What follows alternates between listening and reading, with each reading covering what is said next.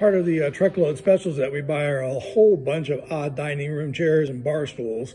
A lot of factories get stuck with them at the end and they end up with hundreds of them and most stores really don't know what to do with them, but we buy them all and offer them goofy prices. So we end up selling 99 to $200 chairs for 49 to $79.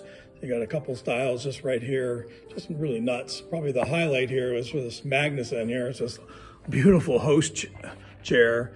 Uh, it's actually really large, comfortable. You could almost use it as a club chair in your living room. It's so big and comfortable. Uh, we bought almost 200 of these and they're gonna be $79 while they last. It even has nail head trim, beautiful finished leg, nice little slope arm, a little bit of a curve back to it. Uh, while they last, you can't beat them.